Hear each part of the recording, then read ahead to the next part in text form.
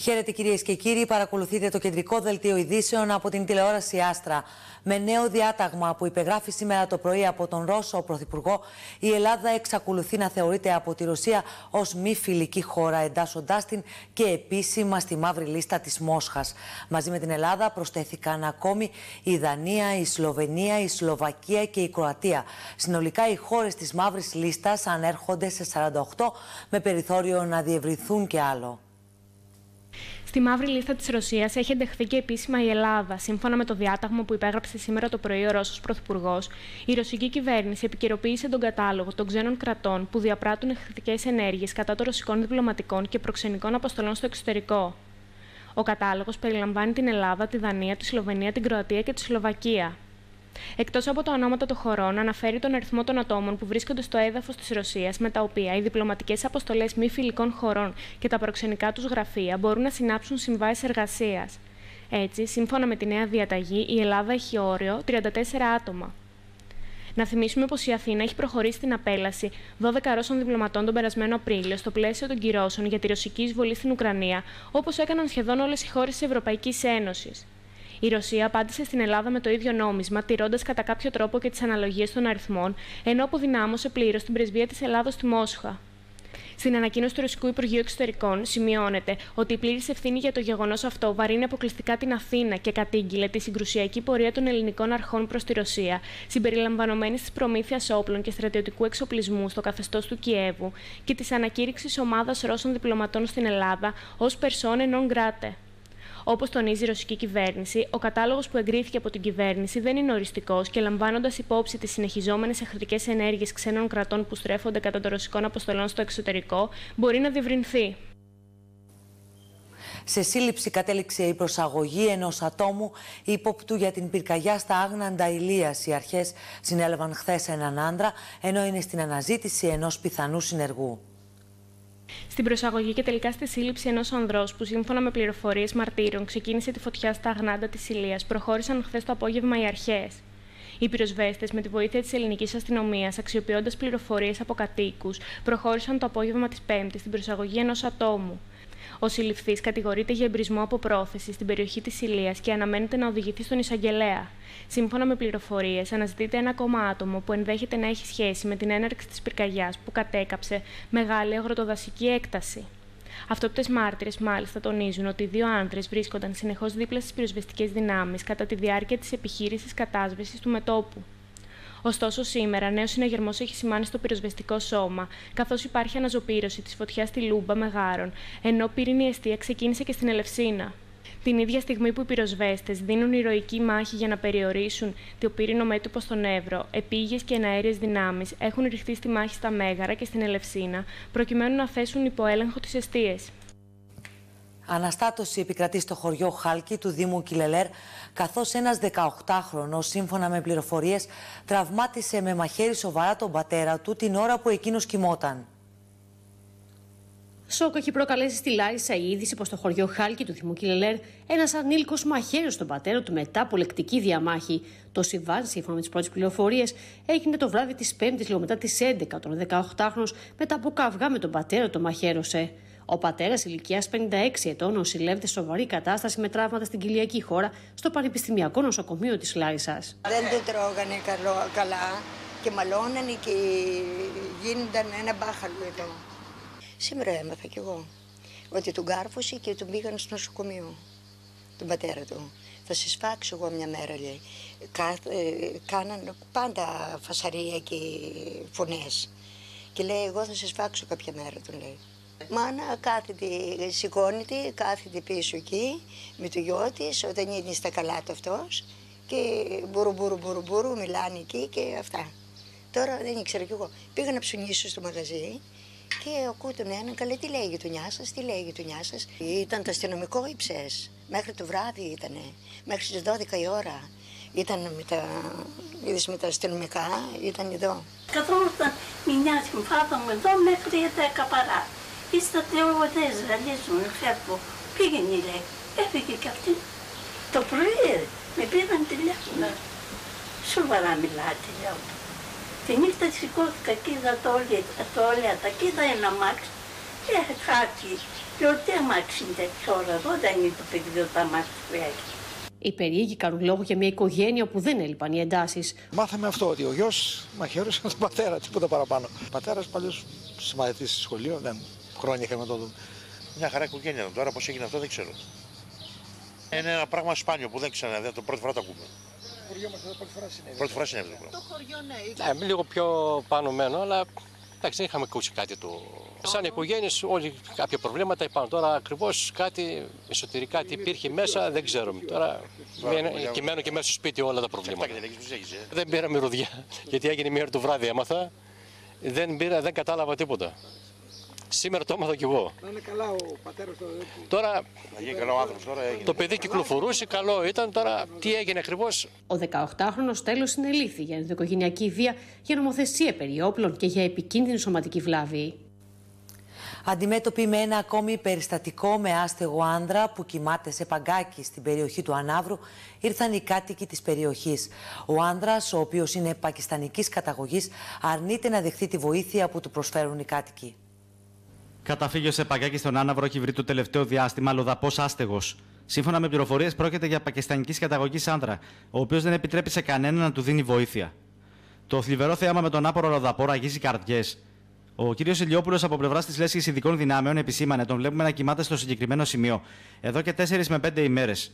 Από πλευράς της Λέσχης Ειδικών Δυνάμεων Μαγνησίας επισημαίνεται ότι τουλάχιστον εδώ και 2 με 3 χρόνια υπάρχουν αρκετοί άνθρωποι που για κάποιο λόγο βρέθηκαν άστεγοι να κοιμούνται σε παγκάκια σε πάρκα του Βόλου. Πρόκειται για Έλληνες πολίτες κατά κύριο λόγο, βολιώτες, άνδρες και γυναίκες. Οι εθελοντές της ΛΕΔ επισημαίνουν προσπαθούμε να τους βοηθήσουμε, αλλά αρνούνται τη συνδρομή μας. Το μόνο που θέλουν είναι τσιγάρα ή χρήματα. Τρόφιμα δεν δέχονται, ενώ αρνούνται να εγκαταλείψουν το μέρος τους. Για πολλούς είναι τρόπος ζωής αυτός. Έχουν μάθει να είναι στο δρόμο και να βιοπορίζονται ζητιανεύοντας. Ή θεωρούν πως δεν υπάρχει κάτι καλύτερο για εκείνους. Υπάρχουν δυστυχώς πλέον αρκετοί τέτοιοι άνθρωποι. Δεν είναι γνωστό για ποιο λόγο βρέθηκαν στο δρόμο και είναι μόνοι. Παράλληλα, υπάρχουν περιπτώσεις ανθρώπων που βρίσκονται παροδικά στο δρόμο για λόγους προβλημάτων με τις οικογένειές τους. Αυτά τα προβλήματα μπορούν να ξεπεραστούν. Ωστόσο, όλα αυτά είναι γροθιά στο στομάχι για τη σύγχρονη κοινωνία και σαφέστατα ένα μήνυμα στη συνταγμένη πολιτεία και όλους μας ότι πρέπει επιτέλους να πράξουμε περισσότερα για τον συνάνθρωπο. Παράσταση διαμαρτυρίας πραγματοποιήθηκε σήμερα το πρωί έξω από το κτίριο της Περιφερειακής Ενότητας Μαγνησίας και Σποράδων από τους αγροτικούς συλλόγους της Μαγνησίας με στόχο να ακουστούν τα αιτήματά τους σχετικά με τα οξυμένα προβλήματα που αντιμετωπίζουν.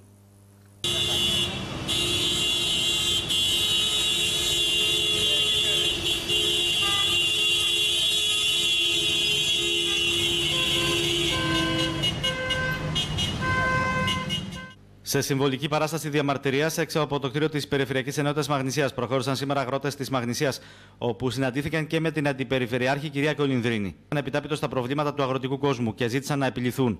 Οι αγρότες, περίπου στις 10 το πρωί, συγκεντρώθηκαν αρχικά στον Περιφερειακό, στο ύψος της διασταύρωσης με την οδό Κύπρου.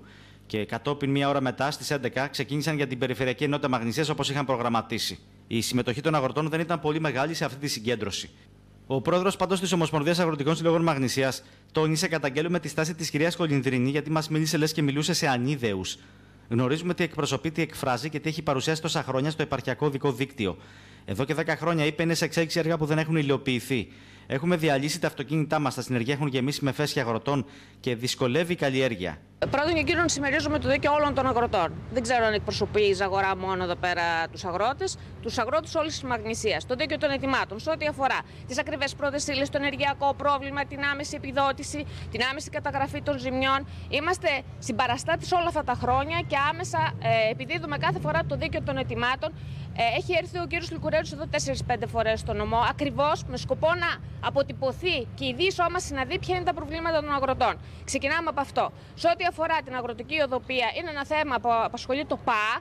Έτρεξε το πρόγραμμα Τρίτης. Οι δήμαρχοι ε, αποτύπωσαν τους αγροτικούς δρόμους που θεώρησαν νοσημένουσας σημασίας για την εξυπηρέτηση των αγροτών και έχουν χρηματοδοτηθεί. Από όσο ξέρω, ο Δήμος Αγοράς έχει 3,2 εκατομμύρια για την αγροτική οδοπία. Η αγροτική οδοπία είναι δημοτική. Σε ό,τι αφορά το επαρχιακό δίκτυο, το επαρχιακό δίκτυο είναι σε αρίστη κατάσταση. Τέτοια έργα, όπως πολύ σωστά είπαν οι αγρότες, δεν είχαν γίνει ποτέ. Τυχαία αντιστήριξης, πάσαλη, αντιπλημμυρικά έργα, καινούρια οδοστροσία και σε καμία περίπτωση μπαλώματα. Κλειστά δίκτυα άρδευσης, πουρή μακρυράχη, ένα εκατομμύριο. Από εκεί και πέρα. Το θέμα της τελέχωσης του κέντρου υγείας. Το θέμα το, της βραδίας γραφειοκρατίας είναι θέματα που πρέπει να τα δει. Η Πέμπτη είπε το Υπουργείο Υγείας και το Υπουργείο Αγροτικής Ανάπτυξης. Ε, είμαστε ευχαριστημένοι από τη συμμετοχή. 22 Ιουλίου είναι. Αντιπροσωπεία συμβολική είναι από κάθε περιοχή του νομού μας ήρθαν. Δεν λείπει από καμία περιοχή του νομού μας από κάποιο χωριό, αγρότης. Ε, καταγγέλουμε τη στάση της κυρίας Κολυνδρίνη, γιατί μας μίλησε, λες και μιλούσε σε ανίδεους. Mm. Γνωρίζουμε τι εκπροσωπεί, τι εκφράζει και τι έχει παρουσιάσει τόσα χρόνια. Τα έργα που είναι 10 χρόνια, εδώ και 10 χρόνια και δεν έχει υλοποιηθεί ούτε ένα έργο. Τα αμάξια μας τα έχουμε διαλύσει, τα έχουμε καταστρέψει. Τα συνεργεία έχουν γεμίσει με φέσια αγροτών και δυσκολεύει η καλλιέργεια. Αυτοί τώρα όλοι, γιατί τα θέματα είναι γνωστά, το το σηκώναμε, κάτι βουλευτές και τοπικοί άλλοι φορείς. Τώρα φταίω να πω ότι για τα πανηγύρια καλή είναι. Δεν έχουν αφήσει πανηγύρια πανηγύρια. Και το δείχνουν μόνοι τους. Το βγάζουν στα μέσα κοινωνικής δικτύωσης. Να αφήσουν τα πανηγύρια, να κάτσουν πραγματικά στα προβλήματα που αντιμετωπίζει ο αγροτικός κόσμος. Και δεν μιλάμε μόνο για τα τοπικά που είναι τα κύρια, ο δρόμος και το νερό, που δεν υπάρχουν στο πύλιο, είναι υποβαθμισμένα. Μιλάμε και με το κόστος παραγωγής που έχει φτάσει στον ουρανό, με τα λιπάσματα, το πετρέλαιο, τη βενζίνα, το ρεύμα. Είχαμε ναι, μεγάλη ζημιά από το χαλαζόπτωση και είναι αναγκαίο να αποζημιωθούμε γρήγορα. Η ταχύτητα είναι που παίζει ρόλο. Πρέπει δηλαδή η αποζημίωση να έρχεται τον καιρό της συγκομιδής, τότε που περιμένει ο αγρότης να πάρει το εισόδημα, όχι 6, 8 ή 12 μήνες μετά. Γιατί πρέπει να ξανακαλλιεργήσει. Πώς θα, πώς θα γίνει, πώς θα βγουν τα έξοδα. Αυτό είναι λοιπόν. Θέλουμε ο ΕΛΓΑ κάπως να αναδιοργανωθεί, δεν ξέρω, να αλλάξει η δομή, να αλλάξει τρόπο λειτουργίας, να είναι η εκτίμηση άμεση αμέσως μετά τη ζημιά, την καταστροφή και αποζημίωση γρήγορα στη συγκομιδή. Η Αντιπεριφερειάρχης επισήμανε από τη δική της πλευρά ότι συμμερίζεται το δίκαιο των ετοιμάτων όλων των αγροτών. Επιπλέον, βασικό αίτημα των αγροτών στη σημερινή διαμαρτυρία αποτέλεσε το περιστατικό της 54χρονης από τη Ζαγορά που διακομίστηκε στην καρότσα αγροτικού επειδή δεν υπήρχε οδηγός ασθενοφόρου. Το θέμα της τελέχωσης του Κέντρου Υγείας Αγοράς ως ένα ζήτημα το οποίο χρονίζει, ανέδειξαν οι αγρότες που συγκεντρώθηκαν το πρωί έξω από το κτίριο της Περιφερειακής Ενότητας Μαγνησίας. Με δεδομένο ότι η 54χρονη αγρότησα που τραυματίστηκε πριν από λίγες ημέρες σε αγροτικές εργασίες της Αγορά παραμένει νοσηλευόμενη στο Αχυλοπούλιο νοσοκομείο του Βόλου και η κατάστασή της είναι σοβαρή. Οι εκπρόσωποι των αγροτικών συλλόγων επισήμαναν χαρακτηριστικά. Γιατρογία λέω γρήγορα ένα γιατρό να πάμε να πάρουμε το χτυπημένο, τη χτυπημένη. Λέει, δεν μπορούμε να φύγουμε από το κέντρο υγείας. Λέω γιατί; Λέει, απαγορεύεται από τον νόμο να φύγει γιατρός από το κέντρο υγείας με αυτοκίνητο ή γιοταχή. Λέω, φέρτε τα κλειδιά, πάρω εγώ το ασθενοφόρο. Λέει, δεν τα έχουμε τα κλειδιά. Ωραία, λέω, ένας γιατρός και ένα φορείο. Λέει, δεν έχουμε φορείο. Λέει, το φορείο. Εκεί τρελάθηκα. Εκεί τα πήρα να πούμε, είπα και κουβέντες. Ε, μετά ένας γιατρός, ε, λέει, η κυρία Μαλιοκάπη, λέει, Έρχομαι, έρχομαι εγώ, βάζω παπούτσα. Λέω προς Θεού, ελάτε, λέω πώς θα τη σηκώσω εγώ τη χτυπημένη. Μπορεί να είναι τραυματιστή. Και βέβαια είχε κόψει αυκένα. Λέω πού να τη βάλουμε. Ψάξαμε στο υπόγειο και βρήκαμε μια λεγόμενη σκούπα τελικά. Mm. Και πήραμε και ένα κολάρο. κολάρο, όχι από τα καλά, ένα κέντρο γέσα που δεν μπορεί, έπρεπε να έχει. Αλλά αφού τα στενοφόρα ήταν κλειδωμένα, τα εργαλεία το, όλα μέσα στα ασθενοφόρα. Στην καρότσα, ναι, αλλά στον ίσιο, ναι. Βάλουν ορό, οι γιατροί εντάξει. Ναι. Δεν μπορούσε, είπε ο γιατρός, μην την κουνήσουμε γιατί μπορεί να πάθει ζημιά. Και καλό έγινε γιατί εδώ στο νοσοκομείο είπανε λίγο να την κουνούσατε από κάτω απρόσεκτα, θα έχει πεθάνει εκεί. Θα πάει Λάρισσα να κάνει την πρώτη υπέρβαση μάλλον. Είναι σοβαρή η κατάσταση. Άκρα, χέρια, πόδια δεν καταλαβαίνει και έχει πρόβλημα στο φιένα. Σχεδιάζουμε τώρα, ε, σαν σύλλογο, να κάνουμε μεγάλη κινητοποίηση μέσα στην αγορά. Ε, θα κλείσουμε και δρόμο αμαλάκι. Γι' αυτό το θέμα. Δεν μπορεί τώρα ε, τόσα χωριά και με 20.000 τουρίστες.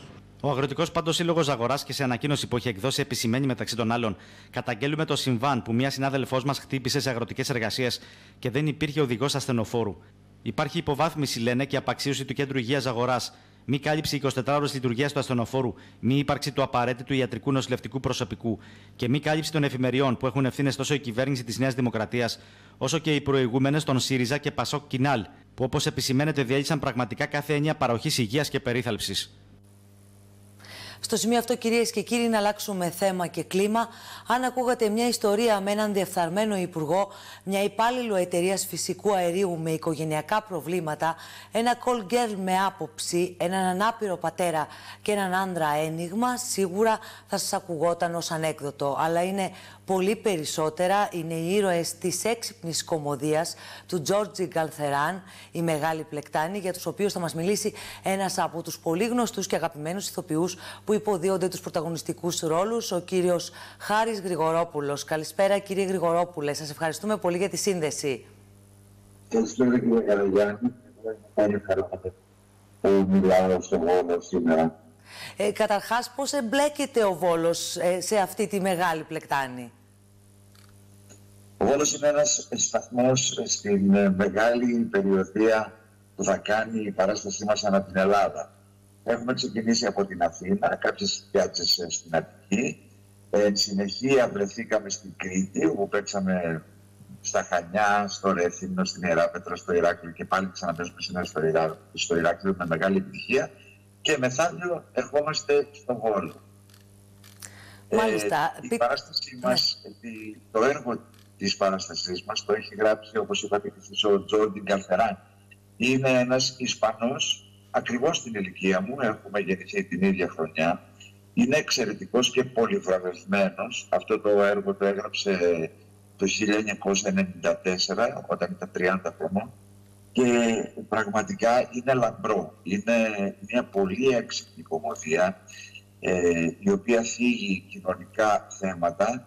Ε, δεν είναι μια κομμωδία να κρατάς ε, το στομάχι σου από τα γέλια. Είναι μια κομμωδία που ε, ε, παρακινεί το μυαλό σου να σκεφτεί. Ε, Πώς ξεκινούν όλα, κύριε Γρηγορόπουλε; Και έχω την τύχη να παίζω αυτό το έργο με τέσσερις καταπληκτικούς ηθοποιούς. Το Λεωνίδα Κακούρη, τη Δήμητρα Ματσούκα, το Θανάση Πατριαρχία και την Κατερίνα Κολοπούλου. Πώς ξεκινούν όλα; Την έχει κάνει ο Σταύρος Σουστάνγκος, τα κοστούμια η Σοφία Δριστέλα, τα σκηνικά ο Δήμος Κρυμενόφ και τη μουσική επιμέλεια η Ειρήνη Μπαλντά. Ε, δεν ξέρω αν μας ακούτε καλά, αν έχετε καλό ήχο. Ε, θέλουμε να μας πείτε πώς ξεκινούν όλα σε αυτή τη μεγάλη πλεκτάνη. Ε, θα επαναλάβετε γιατί δεν σας ακούω. Θέλουμε να μας πείτε πώς ξεκινούν όλα σε αυτή τη μεγάλη πλεκτάνη. Μάλιστα. Ε, βλέπουμε έναν διεφθαρμένο υπουργό, ο οποίος ε, λόγω ενός σκανδάλου αναγκάζεται να παραιτηθεί. Και μέσα στην απόγνωση του σκέφτεται να θέσει και να βάλει ένα τέλος στη ζωή του. Πριν το κάνει αυτό όμως, θα έχει να ζήσει κάποιες έντονες στιγμές. Γι' αυτό τηλεφωνεί σε ένα γραφείο να παραγγείλει μια κοπέλα, ένα call Ε, ανταυτού όμως έρχεται πριν από το call μια ε, πολίτρια που πουλάει προστατευτικά καυστήρων για την κουζίνα. Και από εκεί και πέρα αρχίζει και εξελίσσεται μία ιστορία όπου οι ανατροπές διαδέχονται η μία την άλλη. Ε, δεν μπορώ να πω πολλά για, το έργο, για τους ρόλους και την εξέλιξη της ε, ιστορίας, γιατί πραγματικά ε, δεν θέλω να προδώσω και κάποια πράγματα. Έτσι. Ε, ο δικός σας ρόλος ποιος είναι; από αυτούς που αναφέρατε είναι ο ανάπηρος πατέρας. Η πλεκτάνη, κύριε Γρηγορόπουλε, θα λυθεί. Ένα που μας δηλώνει τη διαφθορά τόσο στις ε, υψηλές ε, κοινωνίες, στους πολιτικούς και στους πλούσιους, όσο και στα λαϊκά στρώματα. Είναι ένα παιχνίδι διαφθοράς που αφορά ολόκληρη την κοινωνία. Οπότε αυτό είναι και το μήνυμα του έργου, ότι η διαφθορά ε, βρίσκεται και στη διπλανή πόρτα; Κάπως έτσι είναι ένας καθρέφτης που μας δείχνει ο συγγραφέας της κοινωνίας της Ισπανίας που σας πληροφορώ δεν διαφέρει καθόλου από την ελληνική πραγματικότητα. Άλλωστε είναι και ένα σύγχρονο έργο. Είπατε το 1994. Τέσσερα. Οπότε είναι ένα σύγχρονο έργο. Είναι ένα σύγχρονο έργο, συγχρονότατο, πραγματικά. Και ε, ε, είναι αρκετά μπροστά από την εποχή που γράφτηκε. Δηλαδή, είναι, είναι πάρα πολύ. Θα το δείτε και θα καταλάβετε για τι πράγμα σας μιλώ. Ε, σε μια εποχή που υπάρχει ένδυα στη συγγραφή θεατρικών έργων παγκοσμίως, η Ισπανία πρωτοτυπεί και έχει αξιόλογους συγγραφείς και αξιόλογα έργα. Ο δικός μας ο συγγραφέας είναι πολύ βραβευμένος. Έχει γράψει τη μέθοδο Κρόγκολ και το Δάνειο, που είναι δύο έργα που παίζονται σε όλο τον κόσμο με πολύ μεγάλη επιτυχία, καθώς και αυτό και η Μεγάλη Πλεκτάνη. Φούγκα είναι το, ο πρωτότυπος τίτλος. Κύριε Γρηγορόπουλε, η Μεγάλη Πλεκτάνη θα λυθεί στο τέλος; Η Μεγάλη Πλεκτάνη θα λυθεί, ναι. Δεν θα μείνει καμία απορία στο, στα μυαλά των θεατών. Απλώς ε, θα, θα υπάρξει μια συνέχεια στη φαντασία τους.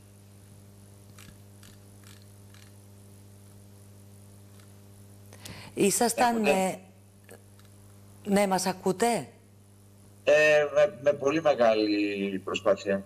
Ναι, είναι αυτά τα προβλήματα των ζωντανών ε, συνδέσεων. Ε, πριν σας αποδεσμεύσω, ε, θέλω να ήσασταν από τους αγαπημένους ήρωες μιας πολύ αγαπημένης μας και επιτυχημένης τηλεοπτικής σειράς, το Καφέ της Χαράς. Και δεν μπορώ να μην σας ρωτήσω αν νιώθετε ότι ο Τρελαντώνης θα σας ακολουθεί για πάντα. Μέχρι στιγμής με ακολουθεί. Στεναρά και, και επίμονα. Ε, μην ξεχνάτε ότι η σειρά αυτή ξεκίνησε να προβάλλεται το 2003, οπότε του χρόνου συμπληρώνει 20 χρόνια συνεχούς προβολής. Αυτό σημαίνει ότι έχουμε μεγαλώσει με αυτή τη σειρά ε, αρκετές γενιές Ελλήνων.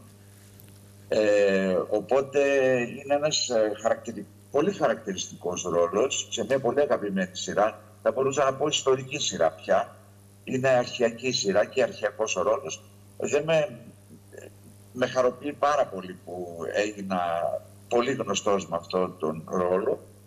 Ε, ωστόσο, για μένα είναι απλώς ένας ακόμη ρόλος, γιατί ε, συνέχεια υποδίωμαι πολλούς και διαφορετικούς ρόλους με την ίδια αγάπη και την ίδια προσπάθεια. Ε, πότε έρχεστε στο Βόλο, κύριε Γρηγορόπουλε; Την Κυριακή, μεθαύριο. Οπότε την Κυριακή στο Δημοτικό Θέατρο της ε, Νέας Ιωνίας, εκεί θα, θα εξελιχθεί η Μεγάλη Πλεκτάνη. Εκεί. Τι ώρα είναι η παράσταση; λοιπόν με τους Βολιώτες στο Δημοτικό Θέατρο Νέας Ιωνίας την Κυριακή στις 9 και 4. Ε, χαίρομαι πάντα πολύ όταν παίζω στο Βόλο. Είναι μια πόλη που αγαπώ. Εγώ είμαι Θεσσαλονικιός και ε, αισθάνομαι μια πολύ μεγάλη οικειότητα με τον Βόλο και με όλες τις πόλεις που είναι χτισμένες μπροστά στη θάλασσα, γιατί δεν μπορώ να καταλάβω πώς κάποιος μπορεί να ιδρύσει μια πόλη μακριά από τη θάλασσα. Οπότε είναι μια πόλη που αγαπώ ιδιαίτερα. Οπότε από αυτά καταλαβαίνουμε που λέτε ότι έχετε ξανάρθει στην πόλη μας και με άλλες παραστάσεις. Ναι, ναι, ναι, βέβαια, βέβαια. Ε, ε, ε, έλειψα μόνο δύο χρόνια, τα χρόνια του κορονοϊού ερχόμουν κάθε χρόνο, κάθε καλοκαίρι. Ε, τελευταία φορά ήρθα με τη Μαρία την Πενταγιώτησα του Μπόστ που παίζαμε με τον Χριστόφα Τσιπαναγιώτη και τη Βίκη Σταυροπούλου και το Μελέτη Ηλία και την ε, αμέσως προηγούμενη χρονιά είχα έρθει με τις θεσμοφοριάζουσες του Αλέξανδρου Ρίγα όπου ήταν μια πολύ μεγάλη επιτυχία επίσης. Μάλιστα, κύριε Γρηγορόπουλε, σας ευχαριστούμε πολύ για τη σύνδεση. Θα έρθουμε να σας δούμε από κοντά στο, στο Δημοτικό Θέατρο της Νέας Ιωνίας την Κυριακή στις 9 για να δούμε πώς θα εξελιχθεί αυτή η μεγάλη πλεκτάνη. Ευχαριστούμε πολύ. Καλή συνέχεια. Τα φιλιά μου από την Κρήτη. Και εμείς θα περάσουμε στο επόμενο θέμα μας. Σε αγωγές προχωρούν οι επιχειρηματίες των παραλιακών περιοχών κατά της ΔΔΕ, καθώς κάθε Σαββατοκυριακό διακοπές ρεύματος ταλαιπωρούν τόσο τους ίδιους αλλά και τους επισκέπτες. Σε αδιέξοδο βρίσκονται επαγγελματίες των παραλίων του Σλάι, αφού ο κόμπο έχει φτάσει στο χτένιο, όπω χαρακτηριστικά αναφέρουν με τις διακοπές ρεύματος κάθε χρόνο κατά μισή του καλοκαιριού. Την Κυριακή, την περασμένη λόγω βλάβης σε γραμμή μέση τάση, έμειναν χωρίς ρεύμα έως και 8 ώρες περιοχές, όπως το κόκκινο νερό blackout σημειώθηκε στα Νέα Μεσάγκαλα, στο Όμοιο Πυργετό και σε άλλες περιοχές του Δήμου Αγιάς. Και δεν έφτανε διακοπή ρεύματος και μάλιστα η μέρα Κυριακή που η περιοχή σφίζει από επισκέπτες, αλλά υπήρξε πρόβλημα και στι επικοινωνίες αλλά και στην υδροδότηση. Εντάξει, είναι αδιανόητο ε, η μέρα Κυριακή χωρίς καμία προειδοποίηση να κόβεται για τόσες ώρες ε, το ρεύμα. Από ό,τι μάθαμε όμως, το ρεύμα κόπηκε από την ε, Κατερίνη, γιατί κόπηκε στα βόρεια παράλια του Δήμου μέχρι και την Καρίτσα. Η ρευματοδότηση γίνεται από την πλευρά της Κατερίνης. Αυτό είναι άσχετο όμως γιατί δεν ε, ενδιαφέρει κανέναν ιδιαίτερα από πού έρχεται το ρεύμα. Ο καθένας μας θέλει να έχει ρεύμα στο σπίτι του ρεύμα το οποίο χρυσοπληρώνει και ακριβοπληρώνει. Είναι λογικό λοιπόν ε, κάποιοι επαγγελματίες οι οποίοι πέρα από τα, το τζίρο που χάσανε εκείνης, ε, εκείνη τη μέρα, γιατί μιλάμε για Κυριακή, θα ήταν σημαντικές ζημιές στα προϊόντα τα οποία είχαν αποθηκευμένα. Είναι λοιπόν λογικό ότι κάποιοι άνθρωποι αυτή τη ζημιά θα τη διεκδικήσουν και σαφώς ο Δήμος στέκεται δίπλα τους με οτιδήποτε χρειαστεί. Ο κ. Κουντάς αναφέρθηκε ωστόσο και στην τουριστική κίνηση στην περιοχή. Αν εξετρέψετε τις μέρες που δεν ε, βοηθούσε ο καιρός και όπως είναι λογικό, οι λόμινοι δεν μπορούσαν να κατεβούν για μπάνιο και είχαμε και αρκετό κρύο. Η κατάσταση έχει στρώσει τώρα. Νομίζω ότι είναι, είμαστε πολύ ψηλά όσον αφορά τις ε, κρατήσεις και κάθε μέρα που περνάει θεωρώ ότι είναι και καλύτερη. Και νομίζω ότι το καλοκαίρι μέχρι το τέλος θα είναι, θα είναι εξαιρετικό. Οι επαγγελματίες ευελπιστούν να μην υπάρξει νέο πρόβλημα και αυτή την Κυριακή με διακοπές ρεύματος στην περιοχή του Δήμου Αγιάς. Ξεκίνησε από σήμερα η άνοδος της θερμοκρασίας σε όλη τη χώρα. Στη Λάρισα θα σκαρφαλώσει ο υδάργυρος στους 37 βαθμούς, ενώ την Κυριακή θα φτάσει και του 41. Ισχυρό κύμα καύσων έρχεται να σαρώσει τη λάρισα το επόμενο διάστημα, καθώς το θερμόμετρο θα είναι ακατέβατο πάνω από 40 βαθμούς Κελσίου για πολλές ημέρες, σύμφωνα και με την καιρική πρόγνωση του Έγκυρου Λαρισίου Μαθηματικού Μετρολόγου Φάνη Τακούδη. Λάρισα και Τρίκαλα θα φτάσουμε τους 36 με 37 ε, Καρδίτσα λίγο λιγότερο και στους 34 περίπου ο Βόλος αλλά πάλι θα πω με αυξημένες τιμές υγρασίας άρα ουσιαστικά και οι τέσσερις θεσσαλικές πρωτεύουσες βρίσκονται στο ίδιο πλαίσιο όσον αφορά τις μέγιστες τιμές θερμοκρασίας.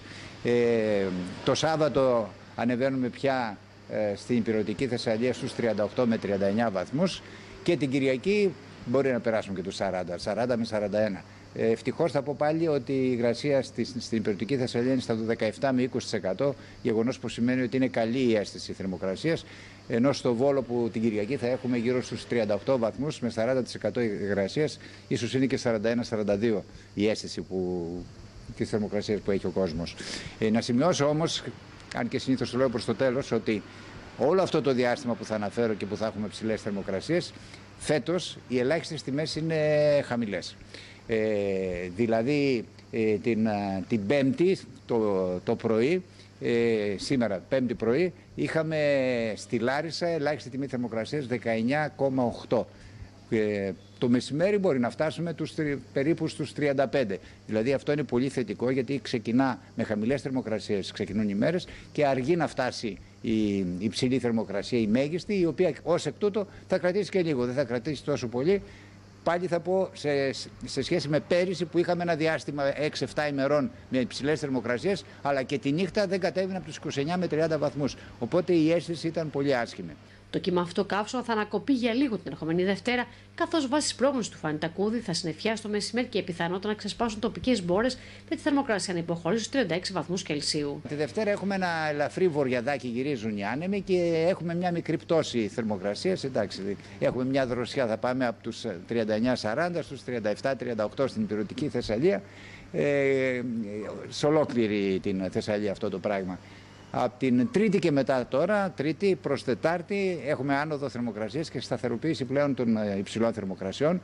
Λάρισα, Τρίκαλα, ε, γύρω στους 40, συμπλην 1. Καρδίτσα, 38, συμπλην 1. Βόλος, 36 με 37, συμπλην 1. Πάντοτε με υψηλές τιμές υγρασίας. Ε, και επειδή έχουμε και αυτή την άνοδο και σταθεροποίηση στη συνέχεια, η άνοδος όμως αυτή θα συμβεί από την Τρίτη προς την Τετάρτη, πιθανόν Τετάρτη, Πέμπτη, εκεί να έχουμε τις μεσημερινές ώρες ε, κάποιες μπόρες ε, με όλα τα συνεπακόλουθα. Μικρής διάρκειας φυσικά θα είναι. Πιθανότητα είναι αυτή τη στιγμή και δεδομένου ότι κιόλας είμαστε αρκετές μέρες ε, μέχρι τότε. Τέλος να πούμε ότι η εκτίμηση είναι πως μέχρι και τις πρώτες μέρες του Αυγούστου οι θερμοκρασίες θα είναι περίπου τόσες που ανάφερα λίγο πριν, συν πλην ένα, ένα βαθμό. Δηλαδή λίγο κάτω από τους 40 με 40 ε, μέχρι τις πρώτες μέρες του Αυγούστου. Στα καύσωνο από εκεί και έπειτα θα εγκατασταθεί στη Λάισα, καθώς ο υδράγιος θα παίζει μεταξύ 39-40-41 βαθμούς Κελσίου, συνεχόμενα και όπως όλα δείχνουν μέχρι και 2 Αυγούστου. Παρόμοιο σκηνικό καιρού θα επικρατήσει και στη Μαγνησία, καθώς μέχρι και την Κυριακή η θερμοκρασία αναμένεται να φτάσει μέχρι και τους 40 βαθμούς Κελσίου. Ξεκινά από σήμερα η άνοδος της θερμοκρασίας σε ολόκληρη τη Μαγνησία, κάνοντας την ατμόσφαιρα αποπνικτική, σε συνδυασμό με την αύξηση της υγρασίας.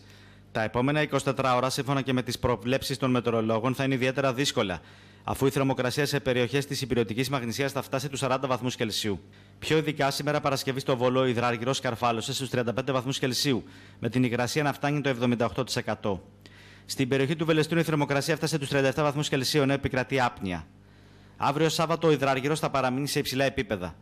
Τα θερμόμετρα στο Βόλο θα δείξουν 35, ενώ στην περιοχή του Δήμου Ρίγα Φεραίου η θερμοκρασία θα αγγίξει τους 38 βαθμούς. Σαραντάρι θα δείξει το θερμόμετρο στη Μαγνησία την Κυριακή και ειδικότερα θα καταγραφεί στην ευρύτερη περιοχή του Βελεστίνου, Ριζομήλου και Στεφανοβικίου. Ενώ και τη Δευτέρα η ανώτατη θερμοκρασία θα είναι 39 βαθμοί. Την Κυριακή στο Βόλο ο καιρός θα είναι αιθρίο με τη θερμοκρασία να φτάνει τους 37 βαθμούς. ίδιο το σκηνικό στην πρωτεύουσα της Μαγνησίας και τη Δευτέρα.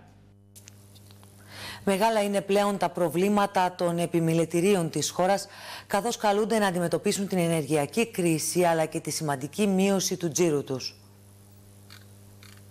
Αγώνα επιβίωσης δίνουν καθημερινά επιχειρήσεις των τρικάλων, όπως και ολόκληρης της χώρας, καθώς έρχονται αντιμέτωποι τόσο με την ενεργειακή κρίση, όσο και με σειρά άλλων προβλημάτων του κλάδου τους. Η κατάσταση στα τρίκαλα πιστεύω ότι δεν διαφέρει από την υπόλοιπη Ελλάδα.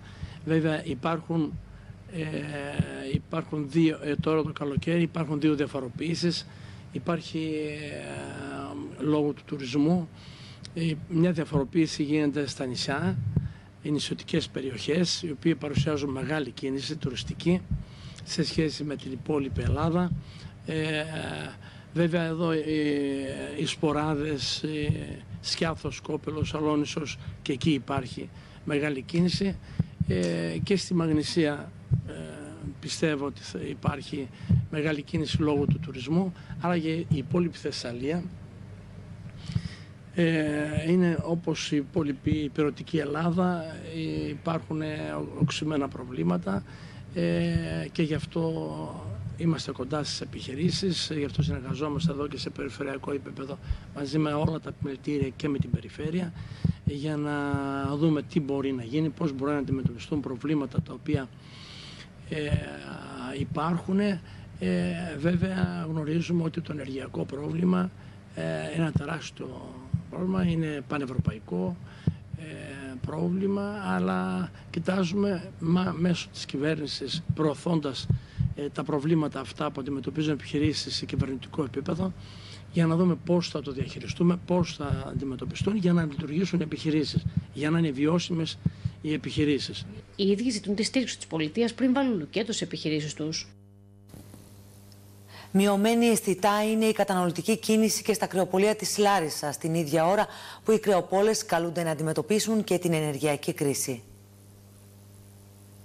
Αγώνα επιβίωσης δίνουν καθημερινά οι κρεοπόλες ώστε να μπορέσουν από τη μία να απορροφήσουν τις αυξήσει πρώτων υλών και από την άλλη να πληρώνουν και τα υπέρογκα ποσά των λογαριασμών. Όπως όλη η αγορά, έτσι και εμείς θεωρώ ότι αυτό που βιώνει όλη η αγορά, το βιώνουν και οι κρεοπόλες. Άσχετα μπορεί να είμαστε στο διατροφικό κομμάτι, παρόλα αυτά έχει πέσει η κατανάλωση. Ε, γιατί κάθε οικογένεια, κάθε, κάθε σπίτι θεωρώ ότι έχει να να πληρώσει τα ρεύματα της βενζίνης που έχουμε ανεβεί. Έχει πάει στα 2,5 σχεδόν 2,40 η βενζίνη. Οπότε ε, είχαμε το ενεργειακό το ρεύμα, ήρθε και η βενζίνη να δέσει το, το όλο σκηνικό. Ε, και αυτό επιφέρει και σε εμάς ε, μια μείωση στην κατανάλωσή μας. Παρ' όλα αυτά, εμείς έχουμε απορροφήσει όλο το ενεργειακό, ε, που δεν είναι η λύση αυτή. Ε, θεωρώ οι θύνοντες πρέπει να βρουν μια λύση, μια άμεση λύση για να μην πατώσει η αγορά. Ε, γιατί βλέπω και την αγορά, όχι πέρα το δικό μας το κομμάτι, βλέπω και την άλλη αγορά ότι ε, δεν είναι και τόσο υγιής ε, και χρειάζεται άμεση λύση. Ε, αυτά είναι με τον ενεργειακό τουλάχιστον και με αυτό που βλέπω εγώ στο δικό μας κομμάτι. Όσον αφορά τις αυξήσεις στο κρέας, μόνο στο κοτόπουλο και ελάχιστα στο μοσχάρι υπάρχει αύξηση, όπως τονίζουν οι ίδιοι οι κρεοπόλες. Νομίζω ότι να απορροφούμε συνέχεια κάποια πράγματα, όπως να απορροφούμε όλο το κομμάτι του ενεργειακού. Ε, δεν θα αντέξουμε. Θεωρώ ότι δεν είναι, και δεν είναι η λύση, το είπα και πριν, δεν είναι αυτή η λύση. Οι ηθήνοντες πρέπει να βρουν τη λύση πλέον και να μας δώσουν λύσεις γι' αυτό για να μπορούμε να σταθούμε στην αγορά όλοι μας. Οι κρεοπολέ ζητούν να γίνει άμεσα έλεγχος και στα σούπερ μάρκετ για τυχόν κρούσματα εσχροκέρδειας. Αντιμέτωποι με τα υψηλά ενίκια είναι οι έμποροι, καθώς βλέπουν να μειώνονται τα έσοδά τους, αλλά να αυξάνονται τα πάγια έξοδά τους. Αυξήσεις στα ενίκια σε εμπορικά καταστήματα στην πόλη του Βόλου καταγράφονται το τελευταίο διάστημα, σε ένα ποσοστό 30 με 40%. Πρόκειται για ακόμη ένα πρόβλημα στους εμπόρους, οι οποίοι βιώνουν δύσκολη καθημερινότητα. Μετά από 10 χρόνια οικονομική κρίση, δύο χρόνια πανδημία, ε, αυτή τη στιγμή αντιμετωπίζουμε την πιο δύσκολη κατάσταση όλων των ετών, που είναι η ενεργειακή κρίση και οι συνέπειες ε, του πολέμου. Αυτό κατ' επέκταση ε, επηρεάζει και τις σχέσεις όσον αφορά τα νίκια, το, το νοικιαστή και στο, όσον αφορά την αγορά. Ε, έχουμε πάρα πολλά συμβόλαια που λήγουν στην αγορά και οι νοικιαστές έχουν την απέτηση να ανεβούν κάποια καταστήματα ακόμα και 30%. Ε, είναι ένα μεγάλο πρόβλημα. Πρέπει να υπάρξει κατανόηση και από τους δύο. Καταλαβαίνουμε και εμείς τους συνοικιαστές ότι έχουν ανάγκες. Η ενεργειακή κρίση έχει δημιουργήσει πολύ μεγάλες τέτοιε ανάγκες. Αλλά πρέπει και οι νοικιαστέ να καταλάβουν τις ανάγκες των καταστημάτων που περνάνε πάρα, πάρα πολύ δύσκολα. Υπάρχει σοβαρό πρόβλημα ρευστότητας ε, και θα πρέπει κάτι να γίνει με αυτό. Τα ενίκια κυμαίνονται αυτή τη στιγμή στην ε, κεντρική αγορά του Βόλου για ένα κατάστημα 40 τετραγωνικών. Στο πιο κεντρικό σημείο που είναι η Ερμού φτάνουν μέχρι και 4-4.500 ευρώ. Και στο υπόλοιπο κέντρο, για ένα κατάστημα περίπου 40 τετραγωνικών για να έχουμε ένα μπούσουλα, είναι στα 1000 με 1500 ευρώ αναλόγως ε, το οίκημα. Ε, καταλαβαίνετε ότι είναι δυσθεώρητο ε, ένα μεγάλο έξοδο για μια επιχείρηση που αυτή τη στιγμή έχει να αντιμετωπίσει ε, όλα τα άλλα τα προβλήματα όπως ε, τη μικρή καταναλωτική αγοραστική δύναμη του κοινού, ε, τα μεγάλα δέκο όπως φυσικά αέρια, ρεύματα κτλ. Πρέπει να υπάρξει μια κατανόηση και από τους συνοικιαστές και από τους νοικιάρδες. Τα εμπορικά καταστήματα στην πόλη του Βόλου περνούν από αρκετές δυσκολίες τα τελευταία χρόνια, με τους επαγγελματίες να προσπαθούν να ανταπεξέλθουν από την οικονομική κρίση και τώρα την περίοδο ανατιμήσεων ακρίβειας. Ζητούν από την κυβέρνηση φοροελαφρύνσει και ένα πεδίο το οποίο να ευνοεί την ανάπτυξη του επιχειρήν. Σε λίγες ημέρες φτάνει ο Αύγουστος, ο μήνας των ε, διακοπών και των αδειών. Παρ' όλα αυτά, χωρίς άδεια φαίνεται πως θα περάσουν το φετινό καλοκαίρι οι λογιστές, καθώς η παράταση στις φορολογικές τους φέρνει παραπίσω στις υποχρεώσεις τους. Ο φόρτος εργασίας γίνεται μεγάλος για λογιστές στη Μαγνησία που τρέχουν να προλάβουν προθεσμίες με δεδομένο ότι δόθηκε παράταση στην υποβολή των φορολογικών δηλώσεων μέχρι τις 30 Αυγούστου από το Υπουργείο Οικονομικών. Ένα ποσοστό 20% των φορολογικών δηλώσεων δεν έχει κατατεθεί ακόμη στο νομό Μαγνησίας. Ο κλάδος συζητούσε την παράταση για να προλάβουμε να βγάλουμε τις υποχρεώσεις μας. Οι υποχρεώσεις, ειδικά το μήνα Ιούλιο, είναι υπεραρκετές. Ξεκίνησε δύσκολο ο μήνας με την ε, σύμβαση συλλογικής εργασίας των εργαζομένων στα επιστημιστικά καταστήματα, η οποία έγινε υποχρεωτική. Αυτό σημαίνει ότι όλοι οι εργαζόμενοι που απασχολούνται σε κάθε είδους κατάστημα εστίασης πρέπει να αλλάξουμε τη σύμβαση. Αλλάζει τα πάντα. Άρα λοιπόν την πρώτη, ο μήνας ξεκίνησε έτσι. Βγήκε μετά αυτό με το ε, Power Pass, όπως το λέγανε, το, να, να εξηγήσουμε στον κόσμο, χάνεται χρόνος έτσι. Έχουμε το ΦΠΑ που είναι το ΦΠΑ και για τα απλογραφικά, τα εσόδων εξόδων τα βιβλία και για τα διπλογραφικά. Έχουμε λοιπόν ένα τεράστιο όγκο και έχουμε και τις δηλώσεις. Δεν έβγαινε. Αυτή τη στιγμή έχει μείνει ένα ε, ποσοστό 20% περίπου δηλώσεων που δεν έχουν υποβληθεί και είναι οι δηλώσεις οι δύσκολες, οι μεγάλες, από επιχειρήσεις, από εταιρείες, που είναι πιο σύνθετες. Οι εύκολες, οι πιο πολλές έχουν φύγει γιατί βγάζεις γρήγορα πιο εύκολα την, ε, ένα μεγάλο όγκο εργασιών. Άρα λοιπόν αυτό που ζητήσαμε εμείς ήταν μια παράδοση μέχρι τις 30 Σεπτεμβρίου για να προλάβουμε δύο εβδομάδες τον Αύγουστο να καθίσουμε να ξεκουραστούμε και εμείς και οι συνεργάτες στα γραφεία μας. Αυτό είναι κάτι το οποίο τα δύο προηγούμενα χρόνια, το 20 και το 21, δεν μπορούσαμε να καθίσουμε γιατί έπρεπε να προλαβαίνουμε τις διάφορες πλατφόρμες για να εισπράξει το χρήματα ο κόσμος που προωθούνταν στην αγορά λόγω της πανδημίας. Βάλτε πλάτη για να πάρει τα χρήματα του εργαζόμενου, να πάρουν οι επιχειρήσεις τα χρήματα, να κυκλοφορήσουν, να αντέξουν, να επιβιώσουν. Βάλαμε πλάτη. Ε, πότε θα ξεκουραστούμε. Δηλαδή τώρα φτάνουμε εδώ και λέμε δώσω 39 του για να μπορούμε να ξεκουραστούμε. Γιατί τώρα τον Αύγουστο δεν θα γίνουν οι δηλώσεις. Τώρα σταματήσαμε να κάνουμε δηλώσεις, να βγάλουμε το ΦΠΑ. Δηλαδή το Υπουργείο έβλεπε ότι πέφτανε οι δηλώσεις μέσα και έλεγε αργός ο ρυθμός. Το ΦΠΑ που δεν έπεφτε μέσα το έβλεπε. Δηλαδή τη ΦΠΑ που δεν κάναμε δεν έβλεπε ότι τα έσοδα δεν είχαν βεβαιωθεί ακόμη. Δηλαδή δεν είχε απορία. Να πει ότι τι γίνεται, ναι, πότε θα προλάβουν αυτοί να τα βγάλουν αυτά. Άρα ήταν μια για να γίνει δουλειά, όπω τα λέμε. Όχι για να ξεκουραστούμε. Ήταν για να βγει η δουλειά. Γιατί και τόσα πρόστιμα με τόσες δηλώσεις που δεν έχουν υποβληθεί, α, δεν θα άντεχε ο κόσμος να βγουν εκπρόθεσμες τόσες δηλώσεις. Οι λογιστές συμπληρώνουν ότι είναι αρκετός και ο κόσμος που σπέβδει για διευκρινήσεις στα λογιστικά γραφεία αναφορικά με τα επιδόματα όπως Power Pass ή Fuel Pass. Οι αλλαγές, όπως επισημαίνουν, είναι διαδοχικές με αποτέλεσμα να μην προλαβαίνουν να ενημερωθούν οι λογιστές, να χρειάζονται χρόνο ώστε να αποκτήσουν γνώση επί ένα θέμα και στη συνέχεια να ενημερώσουν τους ενδιαφερόμενους φορολογούμενους. Στο νοσοκομείο του Βόλου μεταφέρθηκε σήμερα το πρωί ένας άντρας από το Αιδίνη, καθώς υπέστη ηλεκτροπληξία. Ο άντρας μεταφέρθηκε αρχικά στο κέντρο υγείας Αλμυρού, αλλά κρίθηκε άμεση η διακομιδή του στο νοσοκομείο του Βόλου. Στο νοσοκομείο του Βόλου μεταφέρθηκε σήμερα το πρωί ένας άντρας από το Αιδίνη. Ο άντρας υπό διευκρίνηστε συνθήκες υπέστη ηλεκτροπληξία και μεταφέρθηκε αρχικά στο κέντρο υγείας Αλμυρού και στη συνέχεια στο νοσοκομείο του Βόλου. Παρά τα τραύματά του, ο άντρας ευτυχώς διέφυγε του κινδύνου και είναι καλά στην υγεία του. Την ίδια ώρα, ακόμα ένα περιστατικό παρολίγων πνιγμού σημειώθηκε σήμερα το πρωί, λίγο μετά τις 11, συγκεκριμένα σε παραλία του Βόλου. Στην παραλία Ιάσων, στις πλάκες της Γορίτσας πιο ειδικά, ένας ηλικιωμένος άντρα κινδύνευσε με πνιγμό καθώς δεν μπορούσε να κολυμπήσει προς τα έξω. Ο άνδρας ήταν για πολλή ώρα μέσα στο νερό, με συνέπεια να εξαντληθεί και να μην μπορεί να προσεγγίσει την ακτή. Τον αντιλήφθηκε εγκαίρω ο ναυαγοσό της που έσπευσε να τον βγάλει στην παραλία. Τον τοποθέτησε σε πλάγια θέση και του έβγαλε το νερό που είχε πιει. Ο 77χρονο άνδρας ένιωθε πολύ αδύναμος για αρκετή ώρα μετά και δεν μπορούσε να συνέλθει από το σοκ. Ο ναυαγοσό της κάλεσε αμέσως ασθενοφόρο του ΕΚΑΒ, το οποίο έφτασε λίγο αργότερα στο σημείο. Ωστόσο, ο 77χρονο δεν επιθυμούσε να μεταφερθεί στο νοσοκομείο, καθώς ένιωθε καλύτερα μέχρι τη στιγμή που έφτασε το ασθενοφόρο. Την ίδια ώρα, νοσηλευόμενη στο Γενικό Νοσοκομείο του Βόλου για τέταρτη ημέρα είναι η 54χρονη που την περασμένη Δευτέρα τραυματίστηκε μετά από ατύχημα σε κτήμα στη Ζαγορά. Σύμφωνα με τόσα γίνονται γνωστά, η 54χρονη νοσηλεύεται στη χειρουργική κλινική και έχει χτυπήσει στον αφιένα της που στηρίζεται με κολάρο. Ο κίνδυνος να χαθεί μια βουλευτική έδρα από τη Μαγνησία φαίνεται να υπάρχει μετά τα στοιχεία της απογραφής, καθώς και στους πέντε Δήμους της χερσαίας Μαγνησίας υπήρξε μείωση του πληθυσμού. Τα στοιχεία της απογραφής πληθυσμού δίνουν τη δυνατότητα για νέους υπολογισμούς και εκτιμήσεις. Μετά τις αλλαγές που φέρνει ο νόμος για το δικαίωμα ψήφου των Ελλήνων του εξωτερικού από τον τόπο μόνιμης κατοικίας τους, αρχίζουν τα στοιχήματα για το αν και πού θα υπάρξουν ακόμη μεγαλύτερες ανατροπές στις εκλογικές περιφέρειες λόγω πληθυσμιακών μεταβολών. Εξελίξεις από το αρμόδιο Υπουργείο Ιστορικών δεν θα πρέπει να αναμένονται πριν από τον προσεχή Δεκέμβριο, οπότε θα επισημοποιηθούν τα οριστικά δεδομένα της ψηφιακής απογραφής. Στη λίστα των χαμένων εδρών σχεδόν προεξοφλήτου θα μπει Α Αθηνών που θα βρεθεί εφόσον επιβεβαιωθούν οι εκτιμήσεις με 12 έδρες. Στην ίδια κατηγορία εντάσσονται η Κοζάνη, πιθανό να εκλέγει 4 βουλευτές από 5 σήμερα, όπου ο πληθυσμός μειώθηκε κατά τουλάχιστον 4.200 ανθρώπους. Η Μαγνησία, 5 έδρες από 6 σήμερα, όπου μειώθηκε ο πληθυσμός και στους 5 Δήμους η Φθιώτιδα όπου βρίσκονται πληθυσμιακά κάτω και οι 7 Δήμοι καθώς και η Αρκαδία, αν και πιθανότατα θα υπάρξουν περισσότερες έδρες στην υπόλοιπη Πελοπόννησο.